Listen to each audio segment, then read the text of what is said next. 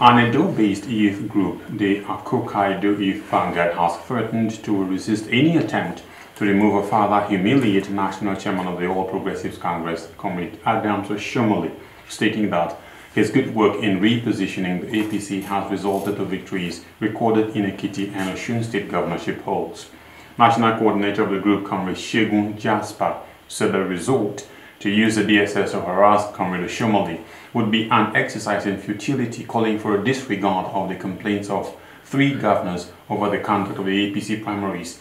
as the action of the National Working Committee of the APC was the best for the party. Jasper said the group will mobilize over 20,000 of its members to Abuja to protest the humiliation of Oshiomhole, stating that the interrogation of the APC national chairman by the DSS is an embarrassment to lovers of democracy in the ruling APC.